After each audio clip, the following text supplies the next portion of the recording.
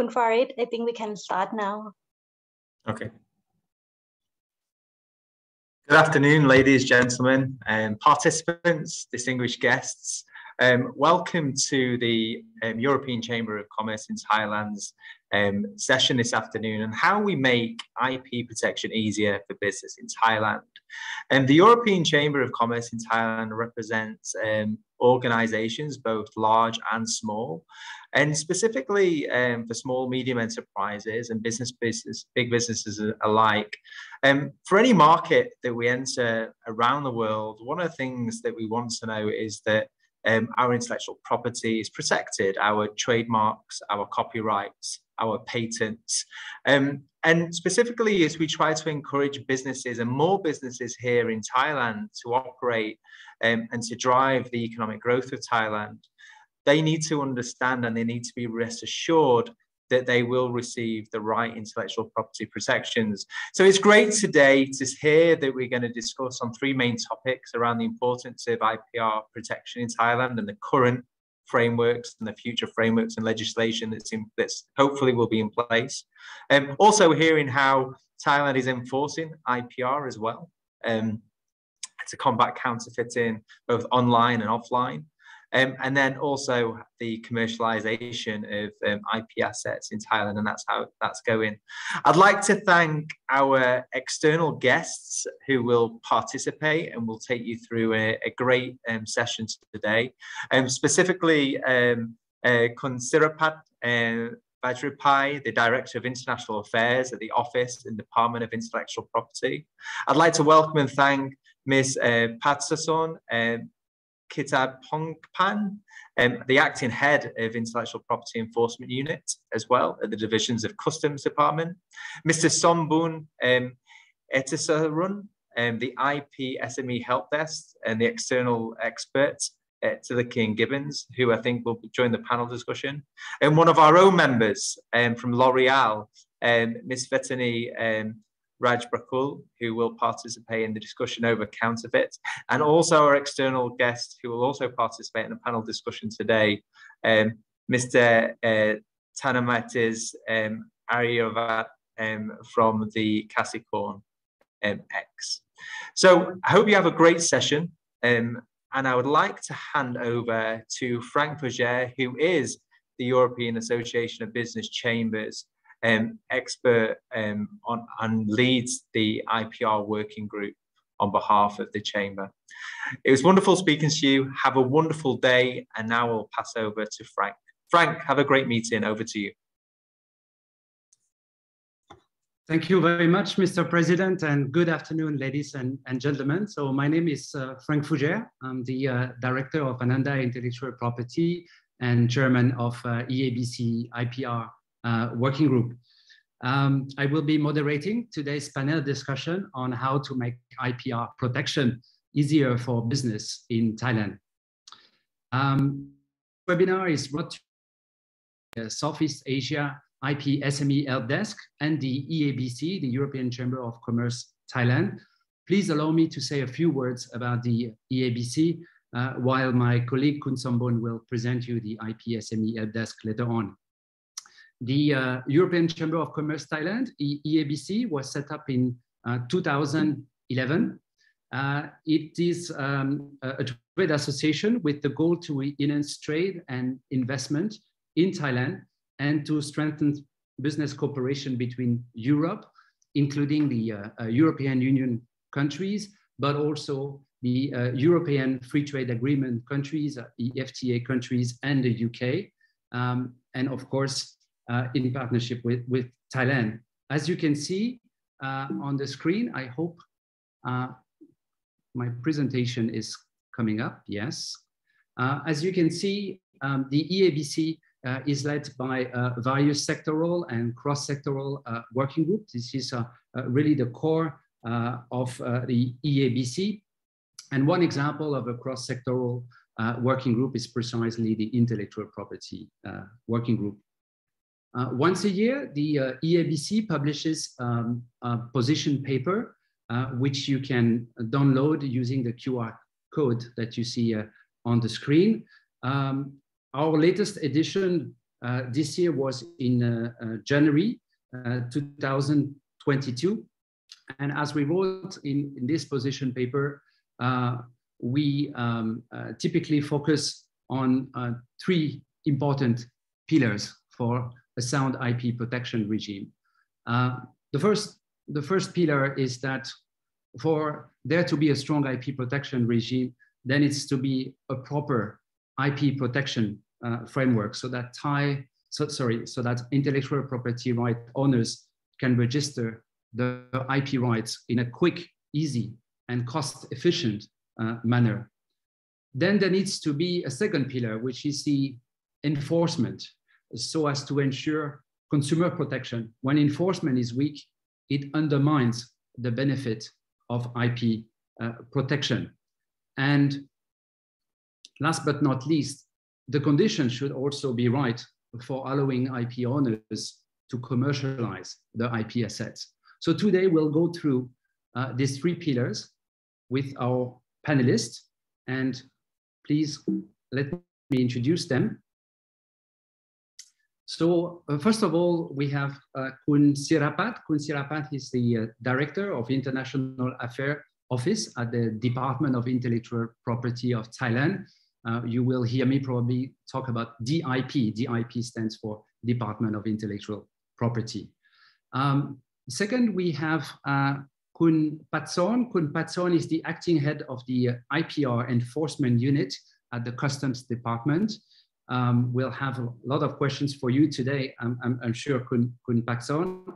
Um, next is my colleague, uh, Kun uh, Somboon from uh, Tilleke and Gibbins. Kun Somboon is, is a partner with the, with the firm and is also an IP SME uh, external expert, and he will tell us a little bit about how the IP SME help desk can help, uh, in particular, European SMEs.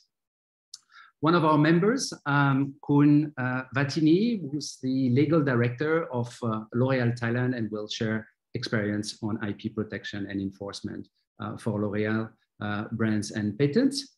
Uh, and last but not least, uh, Kun Thanaarmates, or I will call you Kun Paul, since you have a, an easier nickname. Kun Paul is the venture director of uh, Kasikorn X, and he will talk about new forms of IP rights in particular in the digital uh, era. Without further ado, I um, would like to mention to the participants today that they can ask questions using the chat box. we will be able to accommodate some of these questions um, as the discussion progresses. And if we are not able to address this question uh, right away, we'll try to come back to this question at the end of the panel uh, discussion.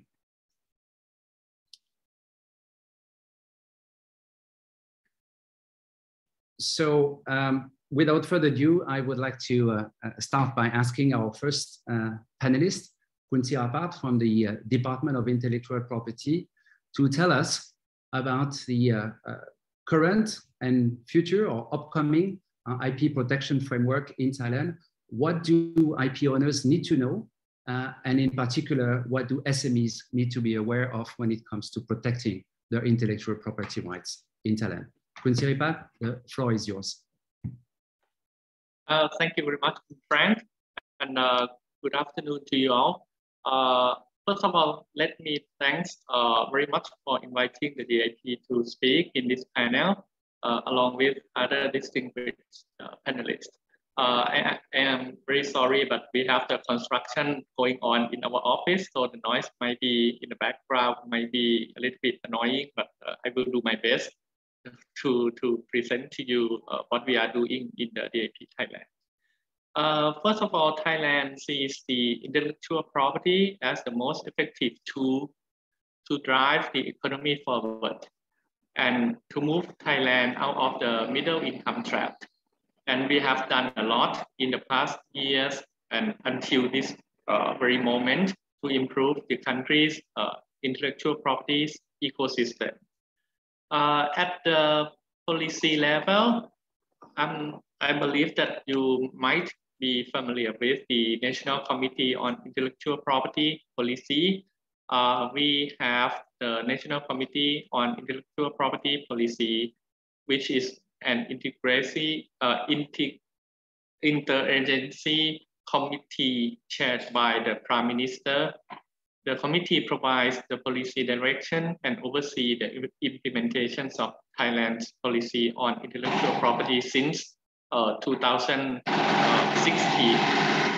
It adopted the 20 years IP roadmap in order to guide the development of the country's intellectual property ecosystem. The roadmap consists of six areas, namely the IP creations, IP protections, IP commercialization, IP enforcement, and uh, two other things which are the geographical indications or GIs and uh, traditional knowledge and uh, TRTK and TCE, uh, which is the genetic resources, traditional knowledge and traditional cultural expressions.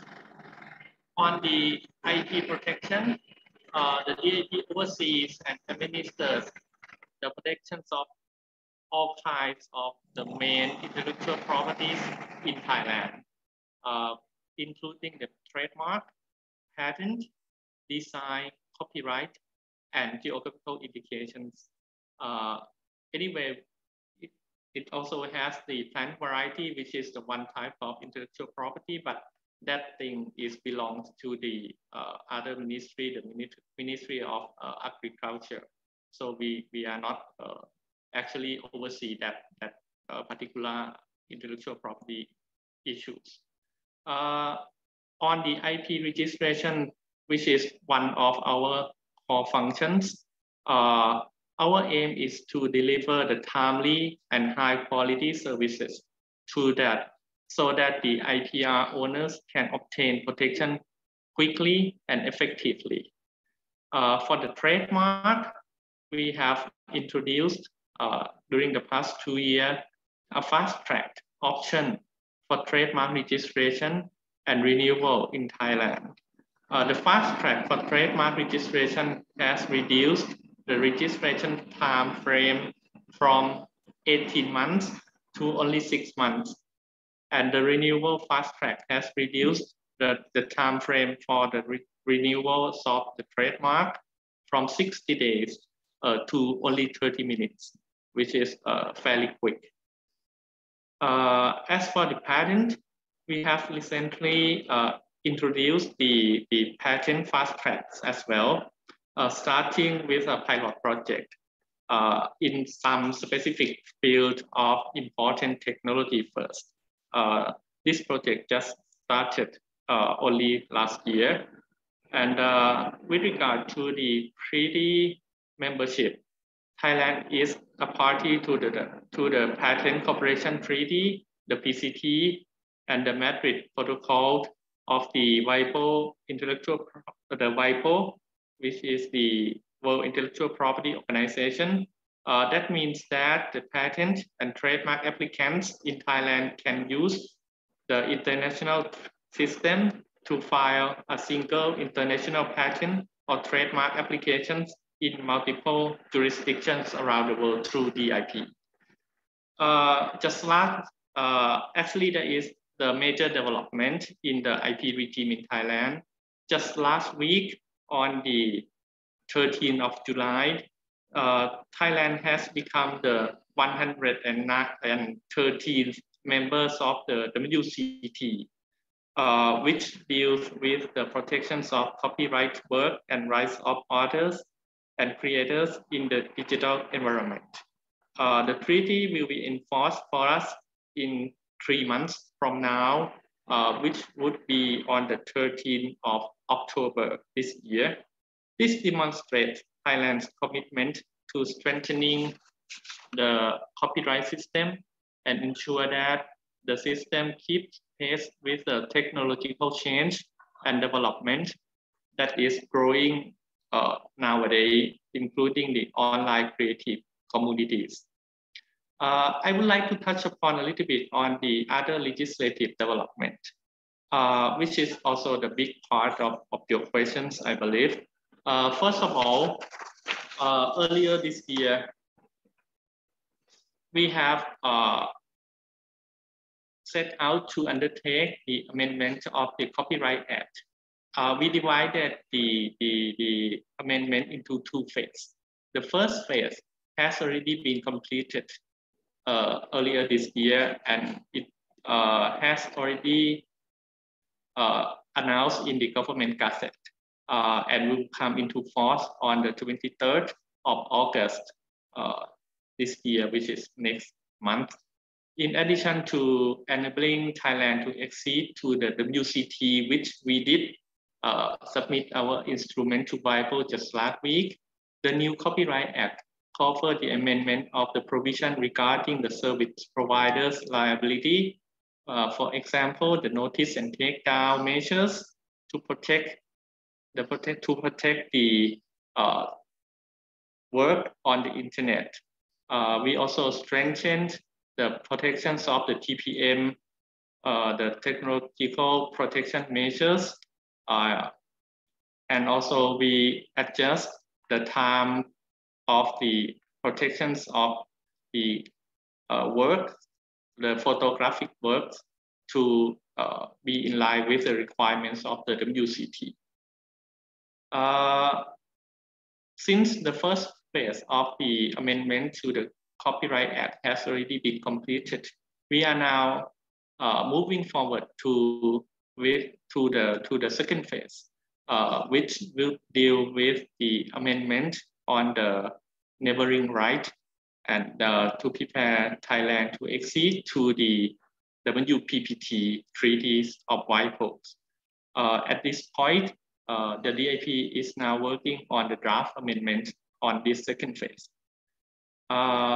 On the Patent Act, the DIP is uh, currently in the process of amending, amending the Patent Act uh, to streamline the registration process of patent and industrial designs, as well as to prepare ourselves to accede to the Hague Agreement and to ensure that the process of registering the patent in Thailand is more quickly, more effectively, and with high qualities.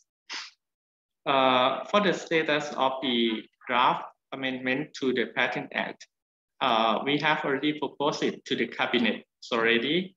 And uh, after the cabinet uh, gives it approval, the draft will be forwarded to the uh, Office of the Council of State for technical examinations.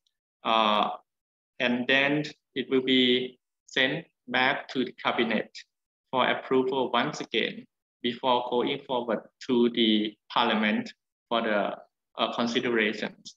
Uh, we, we expect all the process would be finalized and be going in the pace that is not prolonged and that uh, we will be able to uh, to to enact this amendment to the Patent Act as uh, quickly as possible.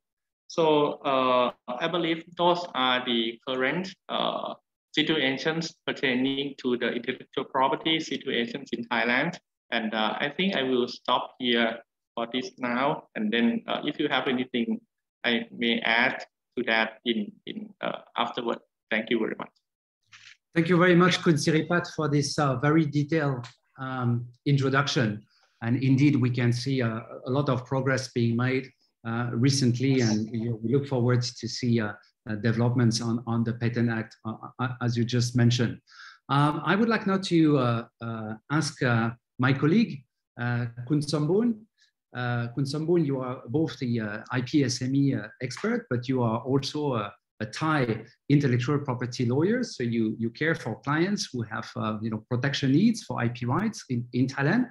Um, I would like to ask you uh, in, in, in, very practical way, uh, what type of recommendations uh, can you make for IP owners uh, who want to protect their IP rights in, in, Thailand? Are there some, some specificities in Thailand that they should be aware about or, or some areas maybe where, where you see some, some improvement? And last but not least, how can the IP SME help desk help these uh, applicants? All right, thank you very much, Kun Franck, and good afternoon, everybody. Um, thank you for inviting me to this seminar. Um, and as you said, I'm, I am a lawyer by profession, but don't worry, I understand that the majority of our audience today uh, are from the business side. So I'm not going to use any legal jargons today. Don't worry about that. And, and thank you very much uh, to Kun Sirapat too, because uh, with your introduction, you helped me a lot in, in explaining about what should um, the European SME as well as the general stakeholders in uh, to get to gain benefits on IPR protections in Thailand. Um, so I think the theme, the common theme would be know before you go, because um, in, in a lot of sense, even though intellectual property has been pretty um, common and, and, and harmonized in many areas, there are still a lot of ways that, that uh, typically designed and typically apply to Thailand. And on that front, I would like to mention two things. First, I would recommend that you try, you try to capitalize in, in the uh, international agreements that Thailand is a party in, um, which Thailand, as Kun Sirapat has um, introduced, has been um, a member to many of the conventions. Uh, for patents, we are a member to PCT. Uh, for design, I think Hague Agreement might be coming up uh, relatively soon. Uh, for trademark, we are also a member to Madrid Protocol. And uh, for um, copyright, we also, the latest one would be the, the WCT that could um, has just mentioned. So um, you would you you would know that a lot of European countries are, are also member to these all um, conventions. So you will be able to capitalize on these um, benefits as well.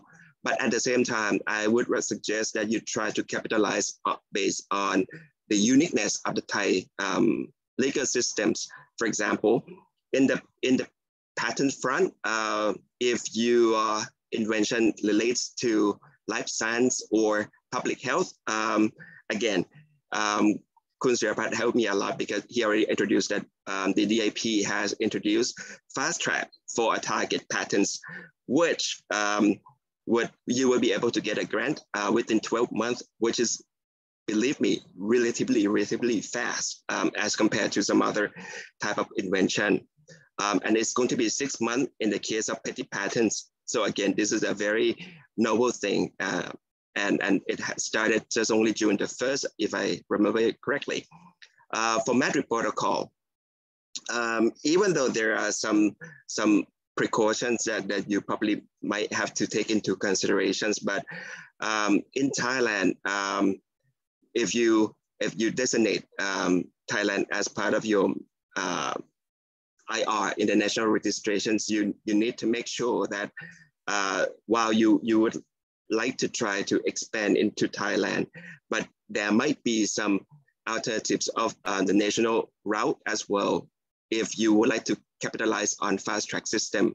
And for fast track system, um, if you um, choose the list of goods in the way that it will be in accordance with the pre-approved list of the DIP, then your application will get the first office action within six months, which again is very, very fast.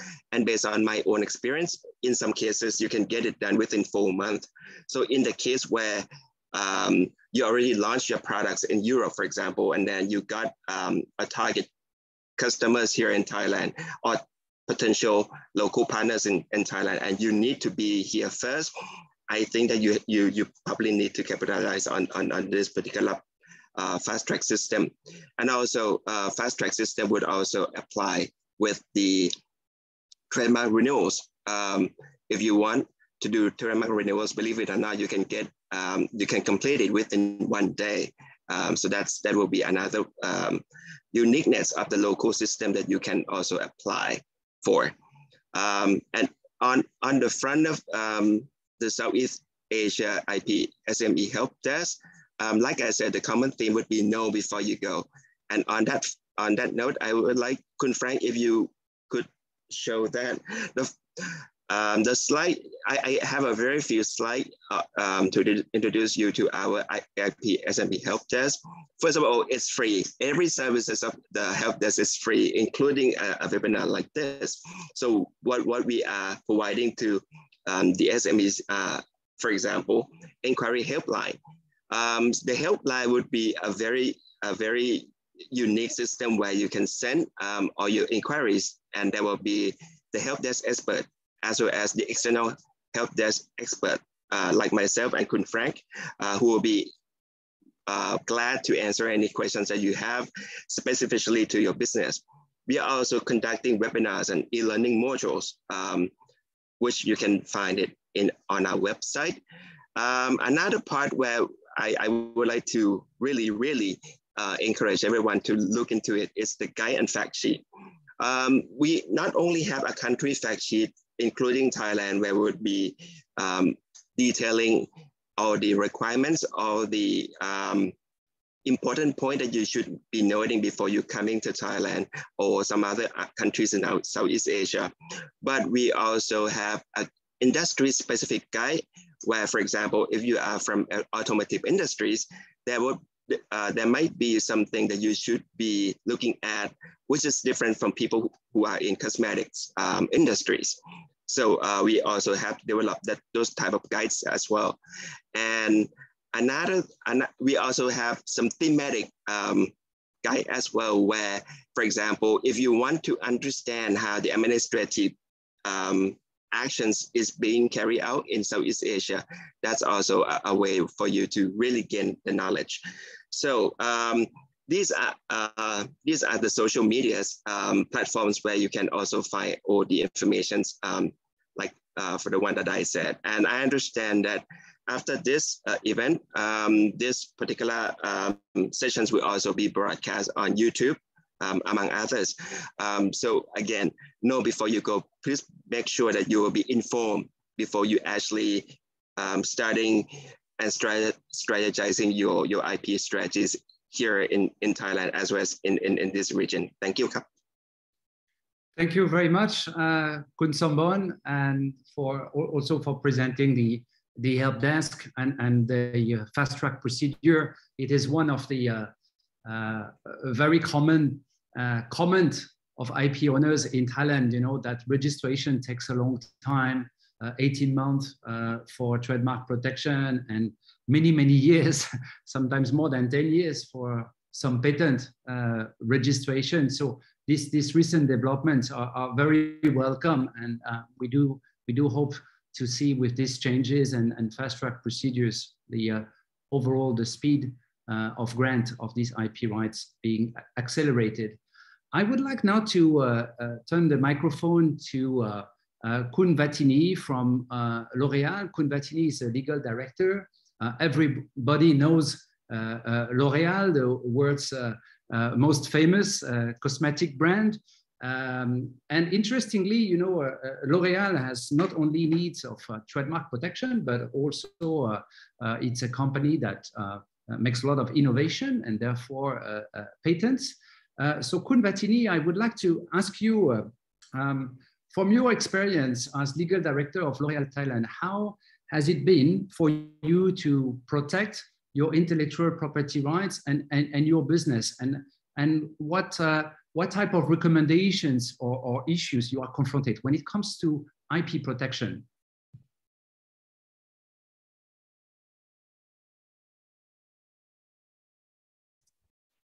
Thank you very much, thanks. Yes, uh, L'Oreal have a lot of the trademark registration in Thailand. Surprisingly, patent is not registered in Thailand, but we have a lot of the innovation for sure. Otherwise, you know, we cannot gain the commercialize, com commercialization of this uh, product. Um, what I would give the, the comment is about the general perception of the IP in Thailand system. For my 25 year experience in dealing this IP, I would have said that Thailand has significantly improved in terms of the IPR registration, IPR enforcement, a shorter time frame for the registration, which surprised me a lot, is significantly reduced time frame for the registration, which sometimes somehow it was frustrating for the IP owner. However, I'd like to comment a little bit about the petty patent.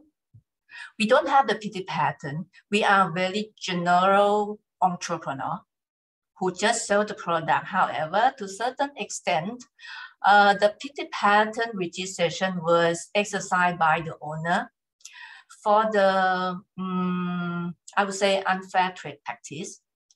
Just for the non-lawyer person, the petty patent registration was designed to allow the owner to register that non-inventive product with the shorter period at a lower cost. Hence, it doesn't require the substantial examination of the invention.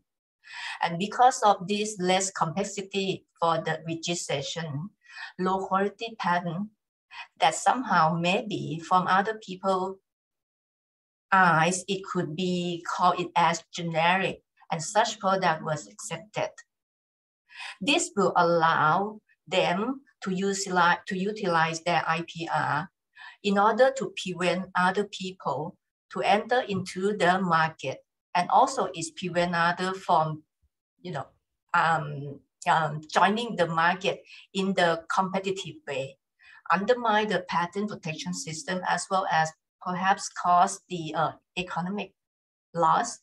So I was wondering whether um, the DIP uh, would have somehow revisit the, uh, the patent law to perhaps uh, include the new inventive step definition in the definition of the invention level and also allow anyone, not just only the interested party, to object the registration at any time, not only um, within one year from the registration has granted. This is my general perception. Thank you very much, Kun Vatinee, for also for sharing this uh, interesting issue that you have. Uh, IPR uh, owners often complain that it's too difficult for them to register the right. But the point that you have raised is that, uh, in fact, some applicants are using the petty patent system and are obtaining registration uh, for uh, very generic uh, inventions that are that are not inventive and that they are abusing maybe uh, the IP system by trying to enforce or enforcing their the petit patents that have been granted a little bit too easily.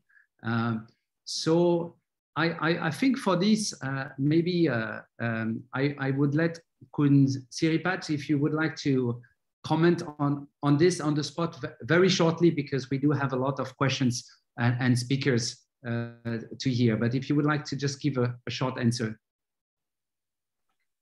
Yes, uh, thank you very much. Uh, according to the petit patent, I believe that the concept of the petit patent is to ensure that inventor who who invent something that is uh, not qualified as a patent uh, could get their invention protected.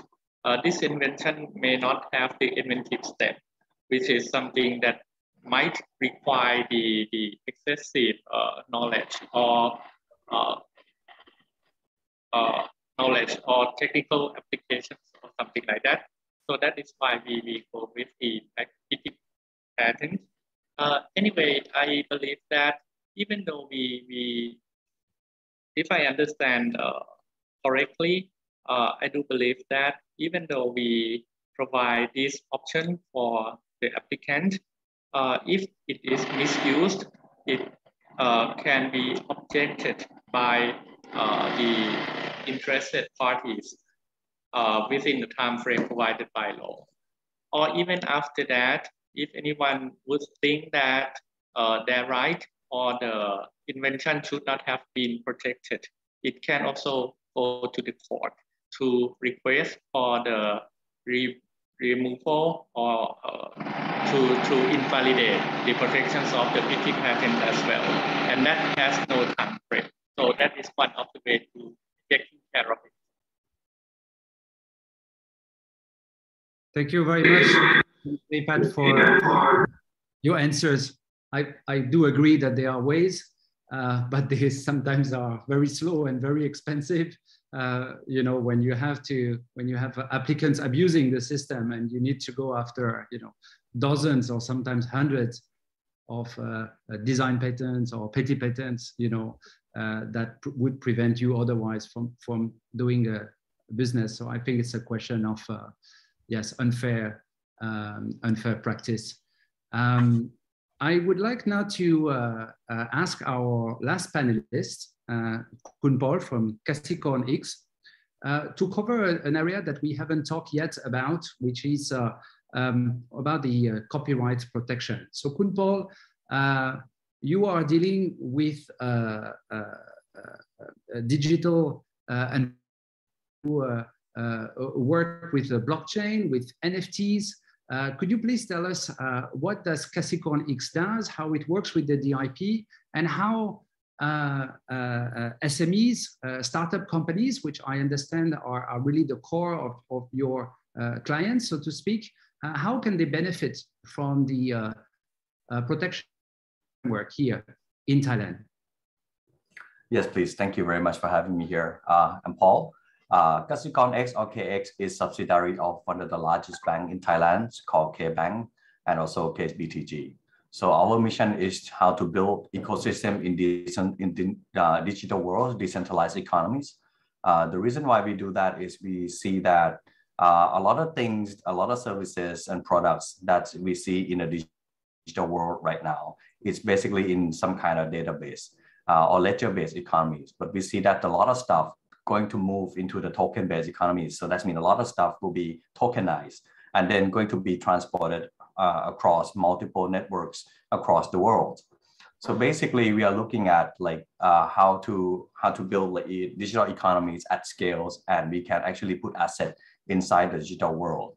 And it's so important for us to really uh, not only have the technology stacks that will be able to enable all of this, but we need to make sure that we have the the uh, protections for anyone that going into these economies as well. So therefore, for us, we built a platform called Coral. Uh, it is a NFT marketplace. And for, for us, this is the marketplace that sell digital arts that never uh, before possible because of the uh, because of the lack of technology that can track uh, you know digital files and etc. So we use that we use the blockchain technologies to enable the marketplace itself. And then in conjunction with the collaboration with the DIP, so we can now incorporate copyright uh, into the platform. And that means we can track the artworks and we can also uh, protect um, the, the artists that uh, live on the platform as well. So please allow me to elaborate a little, uh, elaborate a little bit on the NFT marketplace. Um, I, I would like to share the screen over here if it's possible.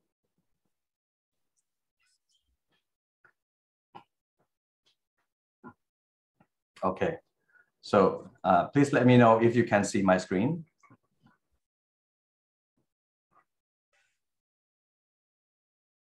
Yes, we can see your screen. Okay, so this is Coral basically. Um, and Coral, this is NFT marketplace that I'm, uh, I mentioned. And uh, it has more than uh, 150 artists, uh, including national artists in Thailand, professional artists from all walks of life, from so uh, from many disciplines. And the reason why they are here is because Coral very different from other uh, other marketplace in multiple things. The first one is it's the marketplace that protect identities of uh, artists. And then the second one is we use fiat uh, currency to purchase NFTs. And then the third thing is we really focus on the offline relationship. So, and when you look at art market, it's a global market. then if we don't actually, if we only protect identities of the artist by validating identity, it's not actually enough. So we need, we need to make sure that the arts that artists sell uh, on the platform actually being protected uh, but with uh, copyright, uh, copyright laws and, and, and etc. as well. So, and the platform here, uh, Coral, we sell arts that range from about 700 euros to about 100,000 euros. So it's considered uh, one of the, the top um, uh, NFT marketplace uh, based in Thailand. And this is basically the arts that we sell. and the collaboration that we work with DIP is very crucial for our success in um, in promoting uh, artists across, um, you know, not only in the country, but also internationally as well. So for example, in this arts, uh, this is the price, 1.85 um, baht. Uh, whenever people come and see artwork that already registered uh, uh, copyright with DIP, what we show right on the platform, we show uh, this badge, the pink badge over here with the tick, and it's written here, see inform to the IP. This is to really inform the buyers that this uh, artwork already registered with DIP. And for us, it's very important because it's the first time that we can actually tell the artist that if there's anything that you want to know about copyright, if you want to uh, have any issues about copyright, there's always a huge team from DIP to help them to tackle all of this across the world. And this is for us is really critical. Thank you very much, Kun Paul, for uh, presenting this interesting uh, uh, new features and, and, and, new topic. I'm sure there will be a question in the chat to be addressed um, shortly. Um, I would like now to move on to the uh, second part of this uh, panel discussion uh, related on enforcement. since we are a little bit behind schedule already, I would like to kindly ask the speaker to not speak over two minutes so that we can have a, you know, a, a good discussion. Um, first question, I think the, uh, to you, uh, uh, and, then to, uh, to Kun Patsorn. So first, Kun Sirapat, could you tell us what are the latest developments when it comes to uh, uh, enforcement, in particular regarding online enforcement, and what is the DIP doing to help fighting counterfeit goods here in Thailand? Yes, thank you very much.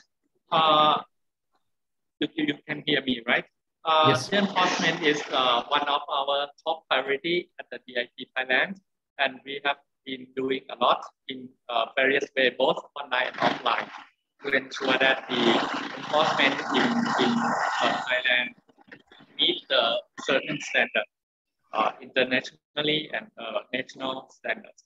nowadays, we, we witness that the pandemic has increased the popularities of the e-commerce uh, and other online activities.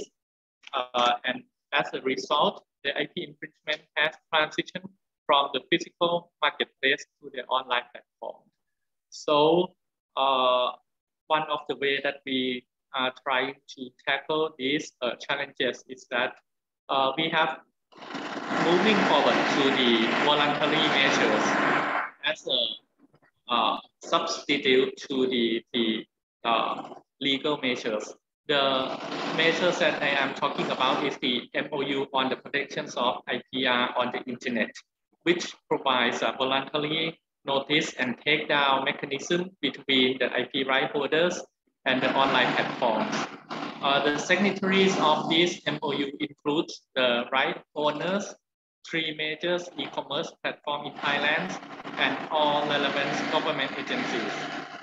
Uh, this MOU has been around for more than one years now, and uh, the the feedback is quite good. And uh, it has been proved that by this MOU, the right owner can notify directly to the platform, online platform, to take down the infringing activities from their platform. Uh, the other things that we are initiating at this moment is the MOU to establish the mechanism for cooperation among the right owners and advertisers.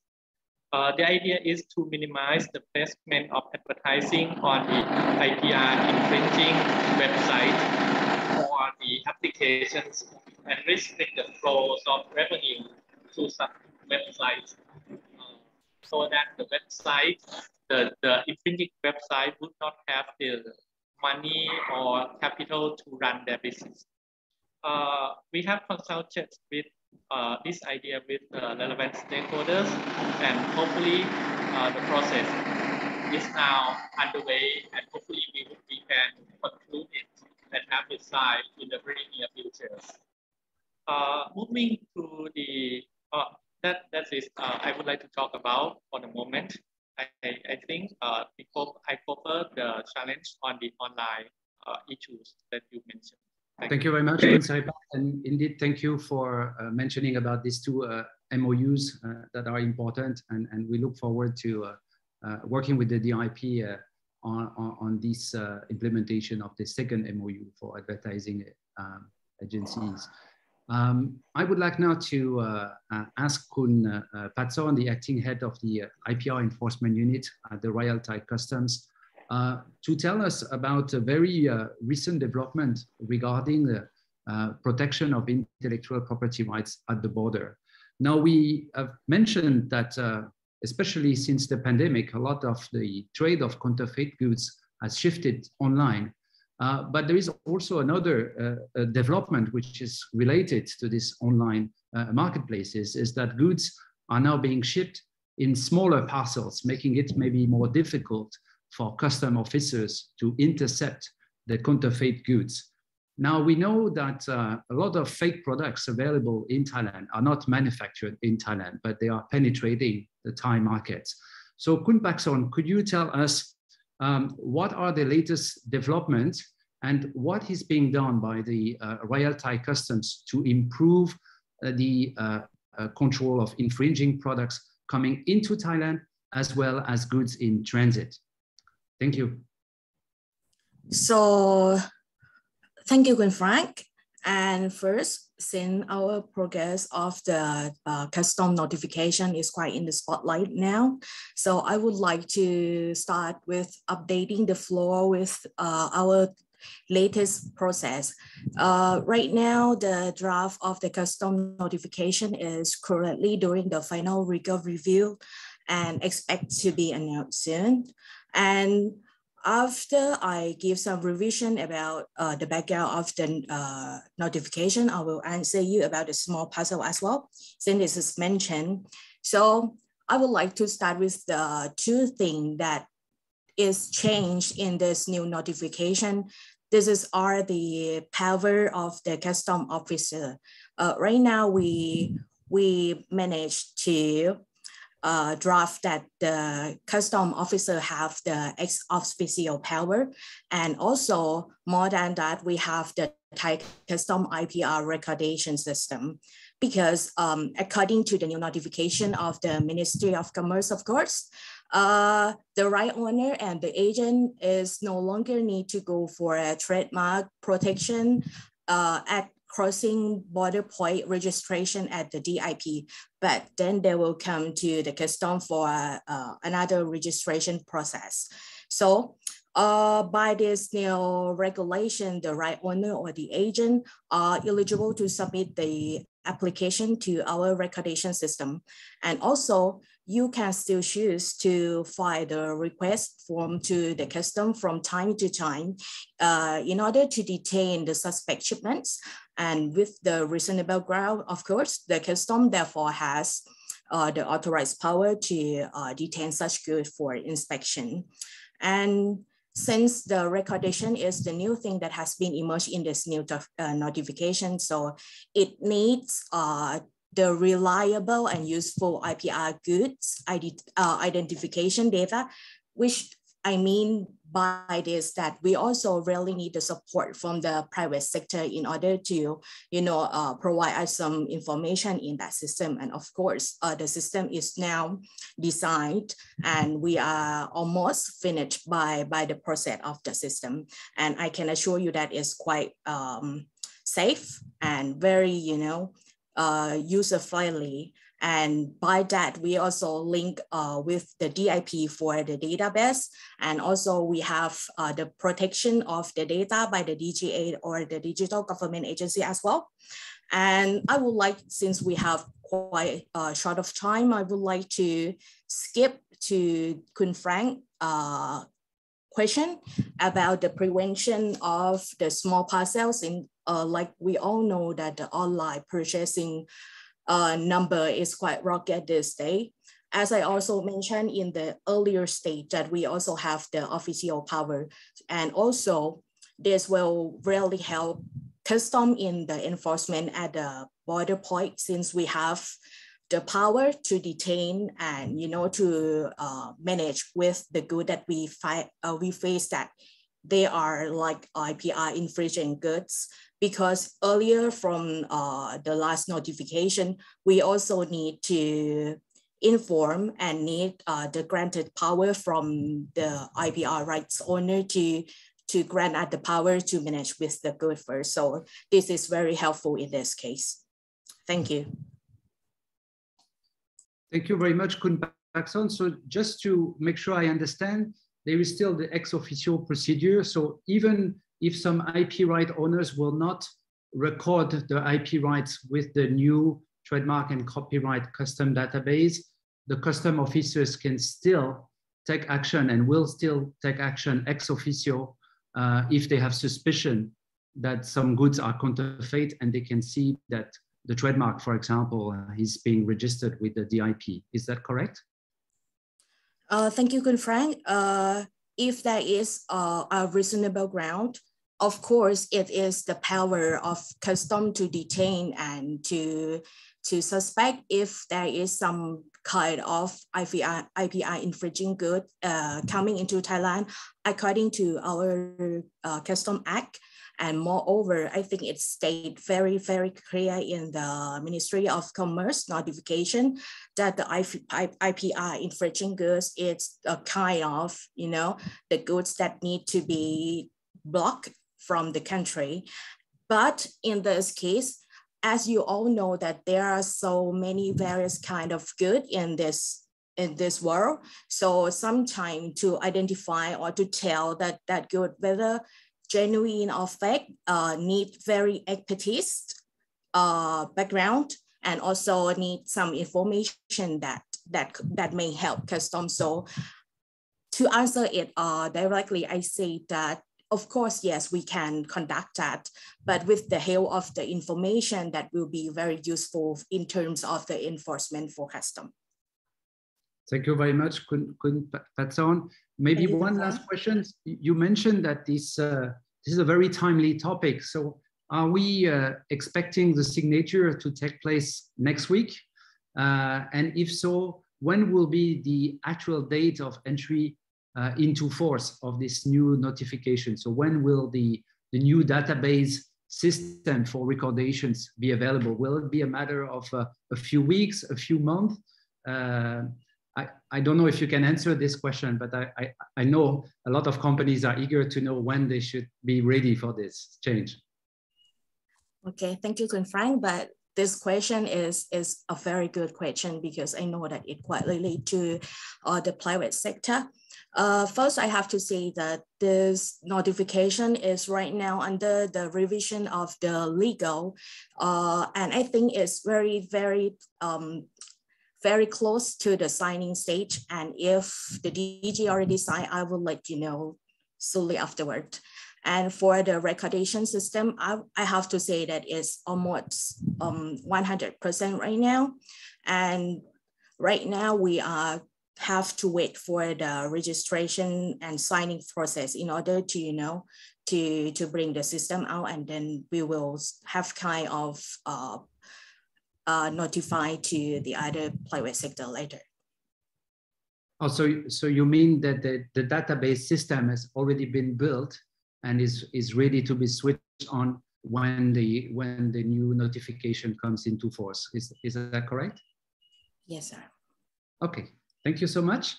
Um, I would like now to uh, uh, go back to you, Kun Somboon. Uh, as an IP lawyer, obviously you uh, uh, must have a lot of clients uh, facing some uh, issues with IP infringement. Could you tell us just very quickly, you know, give us some really practical tips about how to best enforce the IP rights in, in Thailand in two minutes, if possible?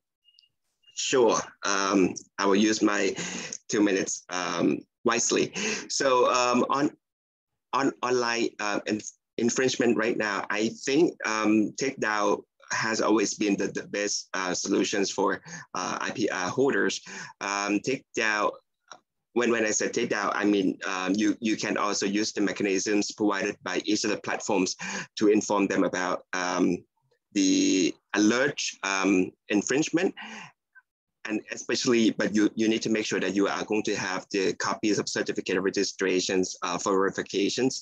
Um, so that would be on online um, enforcement. I still recommend uh, strongly recommending recommending that.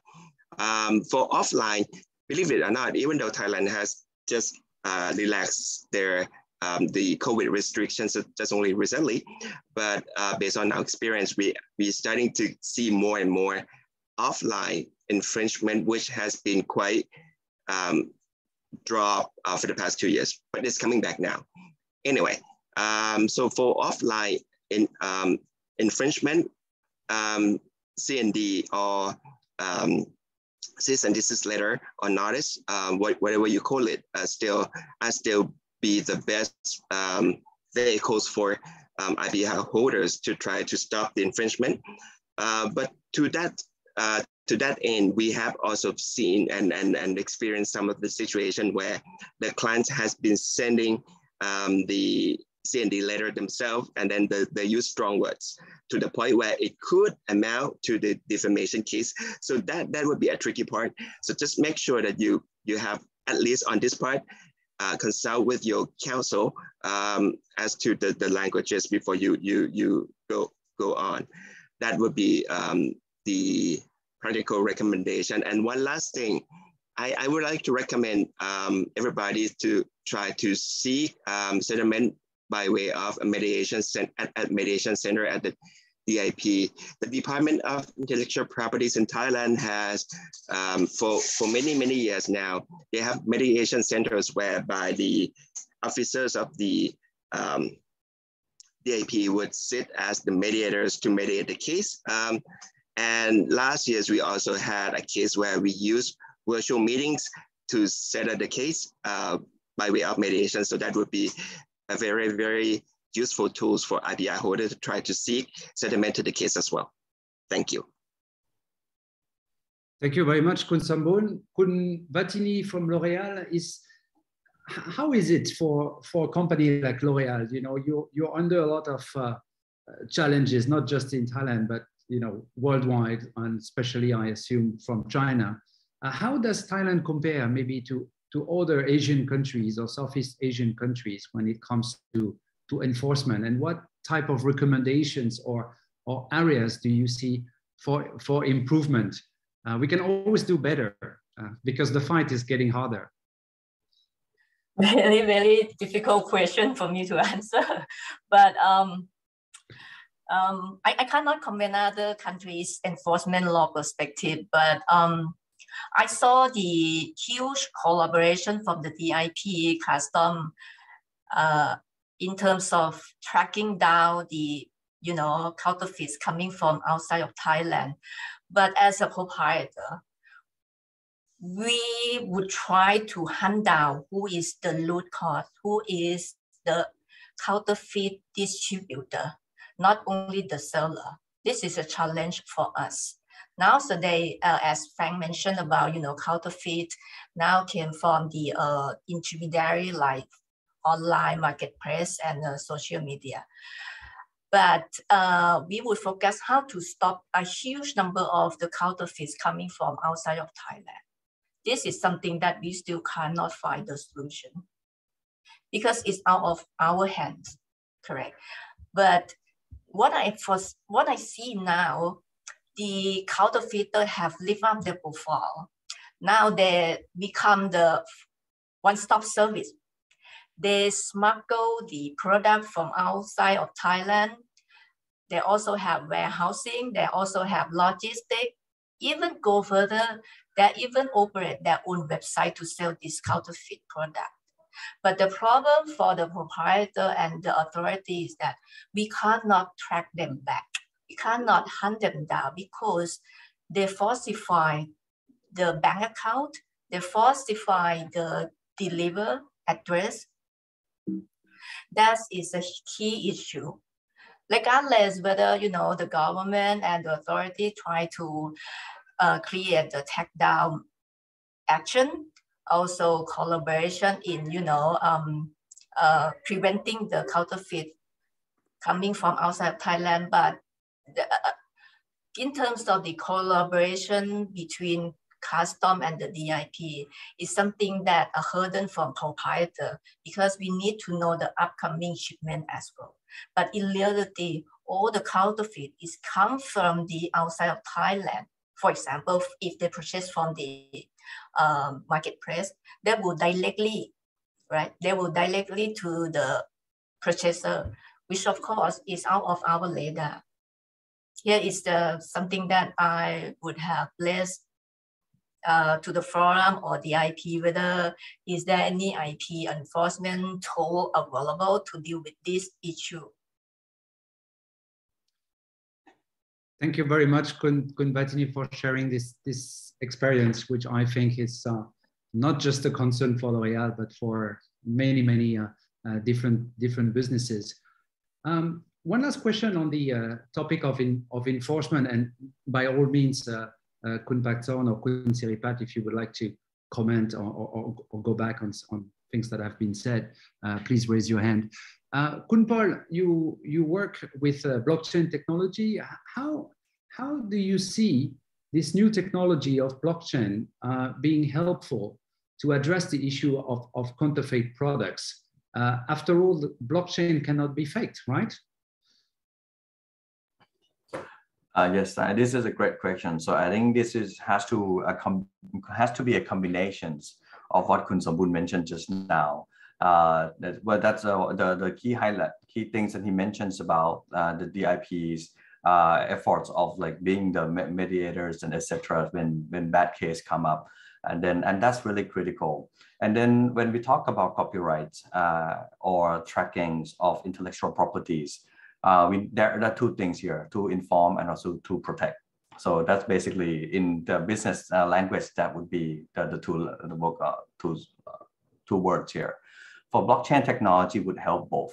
Uh, for uh, we like, for example, the Coral platform use the the numbers that, that the the C in from the IP registration numbers that artists register with the artist with the IP uh, put that in the descriptions of the artwork. And then what we do is at, when we mint that art piece uh, or digital art into NFTs, we actually put that numbers into the blockchain, which is which is essentially we cannot really change that because uh, the way we put it, we put it into the public blockchain where there are more than 10,000 nodes. And uh, it's just impossible to really change those data. So for counterfeit uh, goods, uh, there are even actually more complexity, uh, you know, into that because it's actually physical uh, in many cases. Uh, when we uh, when we actually first started, we looked at the, the case of like if we can actually um, you know track the physical goods using blockchain and etc. We found that it's the challenge is basically how are you going to be so sure that you know the digitalized and the the tagging system or the detecting of that object itself how can we so sure that it's still intact after the manufacturing of that um, item? So, um, so we, we see uh, the use of like multiple technologies like the QR code, uh, barcode, and also NFCs and those things to be embedded into physical goods. And then uh, you use those technologies as an interface for, for, for physical goods. So it would be able to help to identify the ID of that parcel, for example, or the or the or, or, or that product itself and then you use the technology, uh, the blockchain technology to really track that. Uh, and this is the, the, the characteristic of blockchain or the, it's called provenance. And there are a few companies in the world actually providing that service to basically the, the manufacturing, uh, the manufacturers or the originators of goods. Thank you very much, uh, Kun Paul, for, for bringing this topic, which I think is to be continued. I know that there will be a lot of interest on, on, on these uh, new fields and new hopes, you know, in, in the fight against counterfeit products. I uh, am starting to see a lot of questions on the, in, in the chat. So uh, since we are past the one hour mark, I think I will uh, skip the last part of our panel discussion on commercialization, you know, because it will take us too long. And I will uh, let the questions from the floor um, so please raise your hand when you would like to ask a question. And there is one uh, uh, first participant, Kun uh, Ruton, from the law firm Domnern Somgiat Boonma, also a, a highly respected IP lawyer here in Thailand, who has a question, I believe, for Kun Patsorn. Kun Ruton, please ask your question. Thank you, Franck. Uh, I have three questions for Kun Patsorn uh, from the Customs Department concerning the new notification that the Customs Department is going to uh, uh, enact soon. My first question is, under the new notification, uh, the response time that IP owners must uh, uh, respond to uh, information from the customs department. For example, uh, when the customs department seizes a shipment and then notifies an IP owner to identify the goods as, as counterfeit, uh, uh, the, the response time is, as I understand it, three days. Uh, is this still the uh, response time that is going to be uh, uh, in the new notification? Three days. That's my first question. My second question is, when an IP owner uh, wants to record, uh, for example, a trademark with the customs department, how much detail of uh, uh counterfeit goods must the IP owner uh, put in the application for recordal, recordal of, of the trademark? And my third question is, can the recordal of trademarks with the customs department be done online? Those are my three questions. Thank you very much, Kun Ruton. Kun Patsorn, are you able to answer these three questions from the floor? Uh, yes. Uh, thank you, Ruton and Kun Franck. And as I would like to answer it uh, question by question, uh, since we already have um, the meeting with the private sector, I think in, in, in February, and Kun Ruton really, uh, really provide us so many useful information from the private sector. And I would like to thank you about that. And on the first topic about the date, uh, I think we already mentioned the date since the last draft is is some kind of 24 hours or to uh, 20, uh, or two days which everyone said that is quite short. So in that meeting, we already uh, have gathered all the requests from the private sector that it should be extended to be three day. Of course, uh, Thai Custom already uh, used uh, that date mark uh, with the new notification. But moreover, we uh, receive uh, another useful information from the private sector that in some case, uh, the, the process to prove or to identify the genuine of the goods may, may take more than three days. So in this case, we also have this exceptional cost. Uh, if you have some, you know, uh, a reasonable ground to believe so, you can like submit uh, the, the form to that custom house or to the port to extend the date of uh, the response time to be not exceeding than 10 days, of course, according to the TRIPS agreement. And I hope this one is quite clear for you, Kun Ruton. And for the yes, second yes. question, uh, is it able to be, uh, I have to say that the system is very, very well uh, designed. Uh, more than submit the application online, we also have some kind of you know, OTP that can, you know, send back to you in order for access you and make you more convenient with the registration into our new system. But uh, according to the Thai jurisdiction, of course, uh, for the first time of the recordation, after you done the online process, we also need you to come and see at um, face to face and submit the paper-based time. And after that, if you would like to make some kind of, you know, revision or change the name of the contactor or uh, do another slightly uh, adjust, please feel free to do it online. We already, you know, uh, build the system for that. And for the last question, uh, oh, sorry, that is the third question. And for the second question, which I skipped, is it what kind of information that we need in order to, to fill in the form? Uh, I I have to say that it is quite settled right now for the information and the application form, but of course it's, it might come after this with, with the sign notification. Uh, we have to say that this is not quite fake because of course we respect that some information is quite you know classified for for the private sector we we, we respect that but uh, in order to help with uh, the work of the custom enforcement uh, we will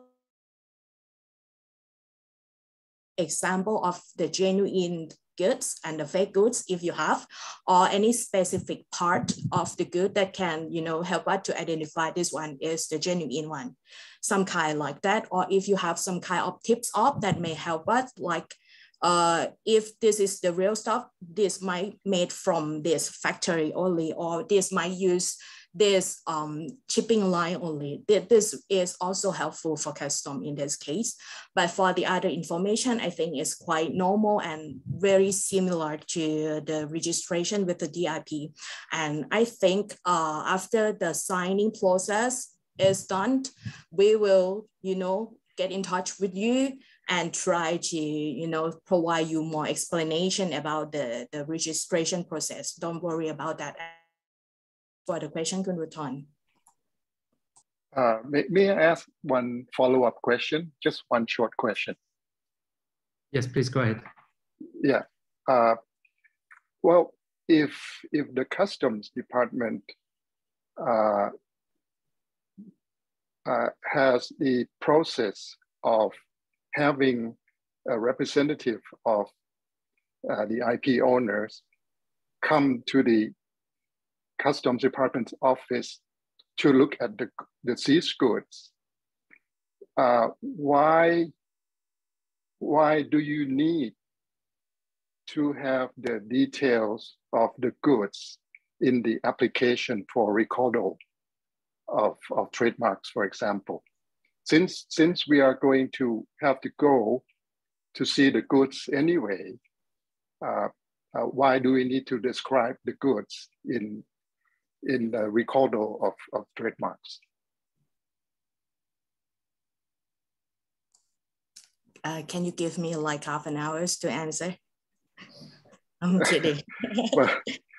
okay, uh, Kun Ruton, I would like uh, to, this is quite an interesting um, question. Uh, go back to that meeting again. We have uh, accept uh, the offer from the private sector that uh, if there is any detained cases or any you know seizure cases at, at, at, at the port or the custom house, uh, whether it is possible for the custom to, to inform uh, the rights owner or the, the representative in this case. And after that meeting, we, we, we accept that uh, principle and put in our notification that if that can happen, of course, we will inform you.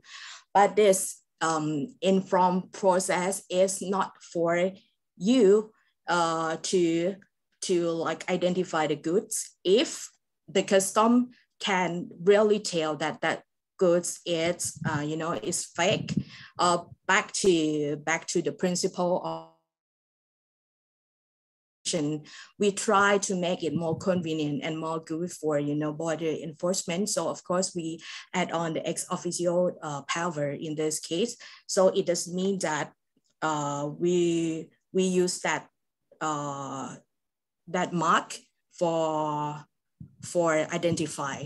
It must come first with that if custom have reasonable ground to identify, they can do it because they are some kind of ex officio.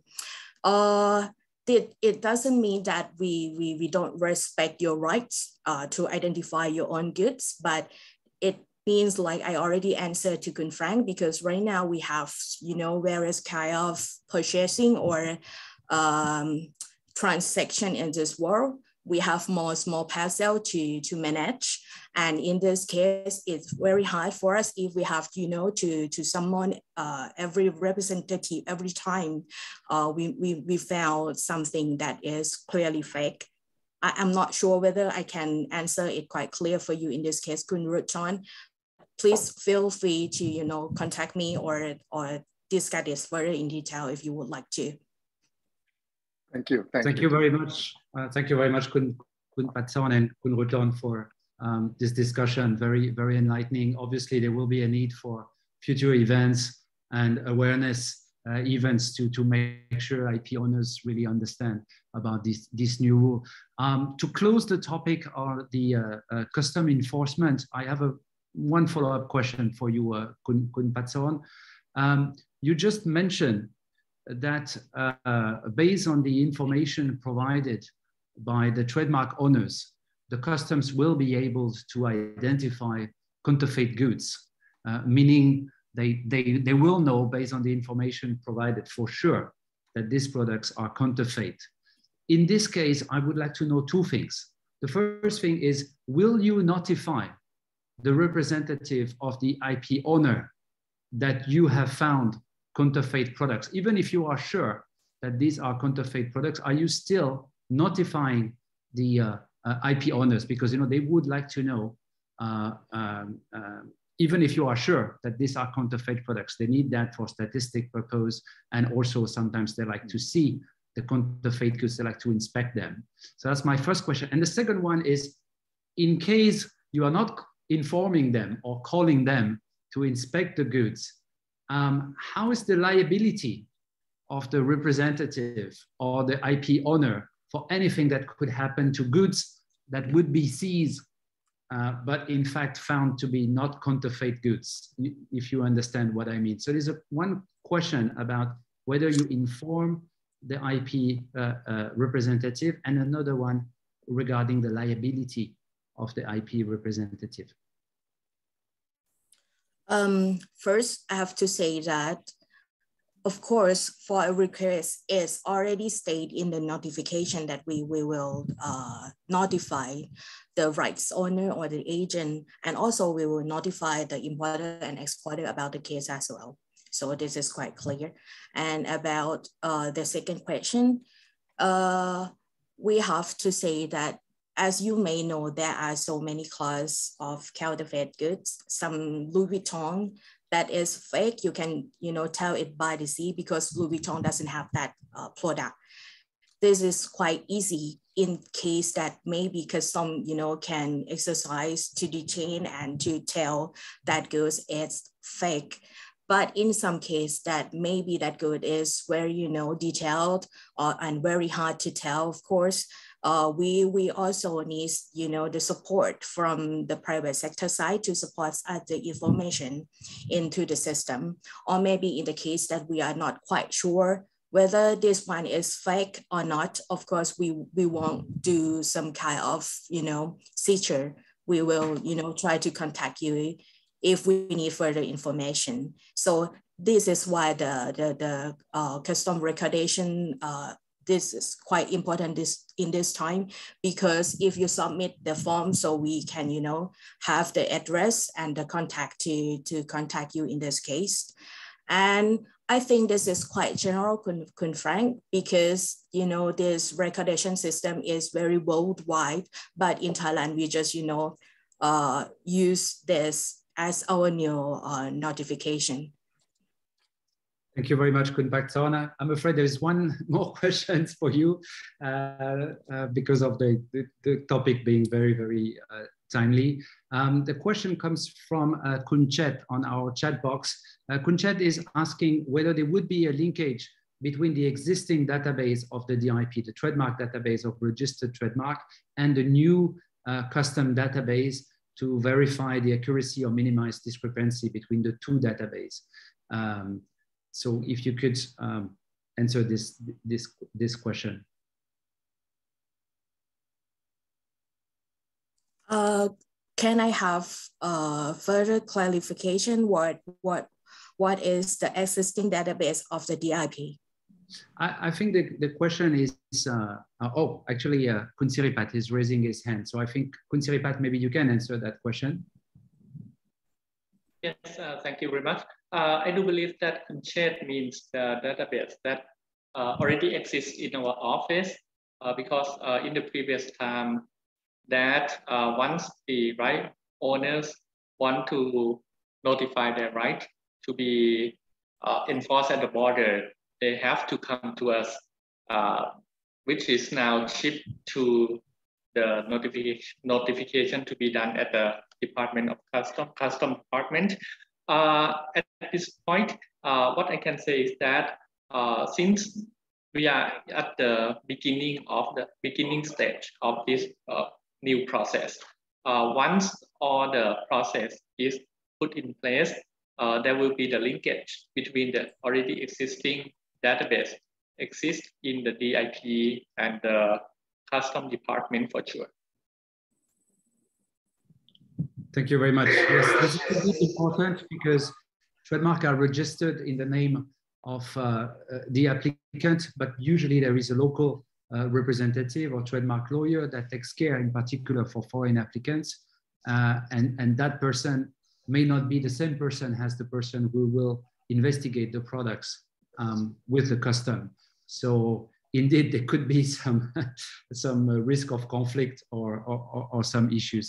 Uh, but um, we'll not go into the detail uh, further today because that, that, that, that, will take us too long.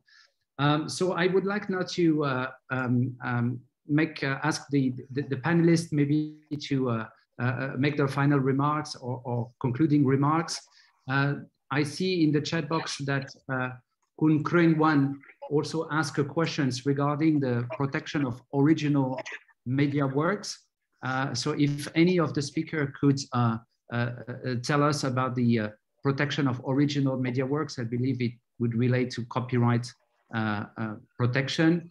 Um, and if there is any other last minute questions to our panelists, please kindly raise your hand or ask it in the chat box.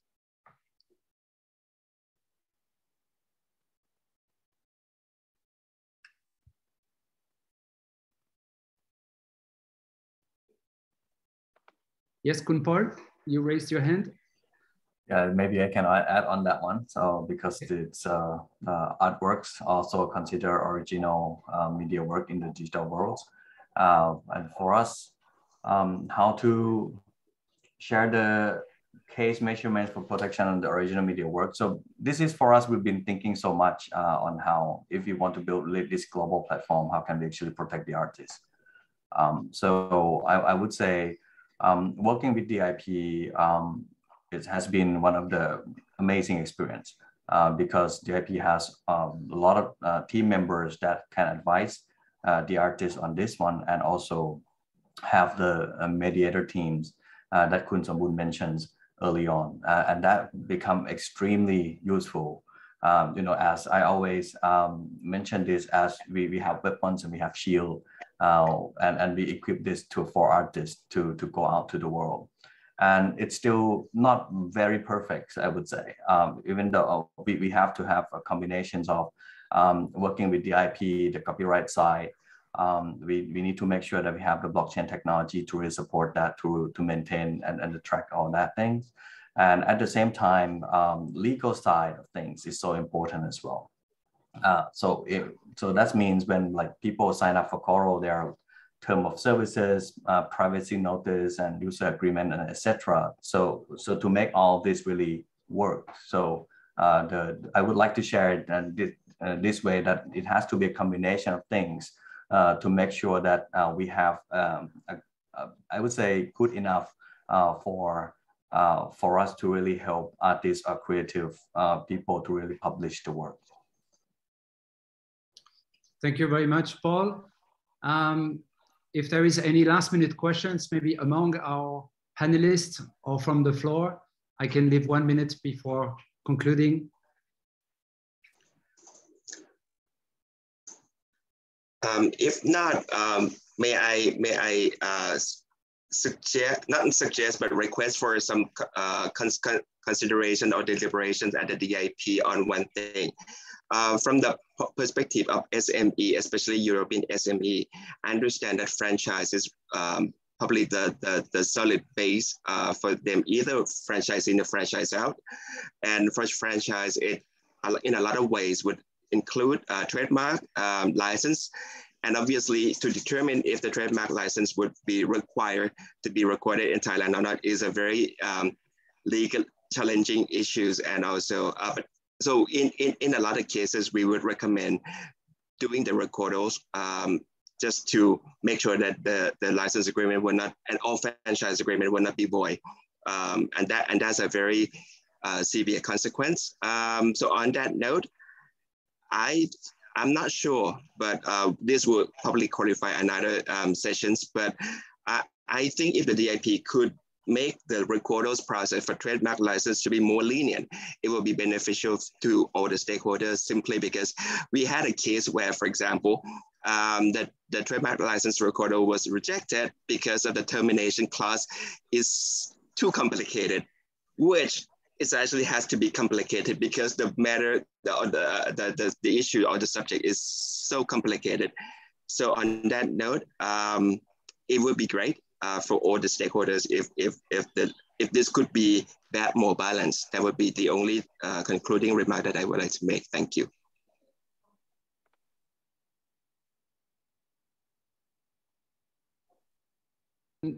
Uh, Kun uh, maybe you can answer this question. And I think after, after you, Kun Ruton, uh, would like also to intervene. Yes, uh, thank you very much. And thank you, Kun Somboon, for, for your suggestion. Uh, yes, uh, the trademark license, uh, according to our law, need to be uh, registered at, at the DIP. And uh, thank you for your suggestion. Uh, because at this point, the DIP Thailand is doing everywhere we can to, to ensure that we can facilitate the not only the registrations of the intellectual property, but also the commercializations of intellectual properties in the in, in Thailand.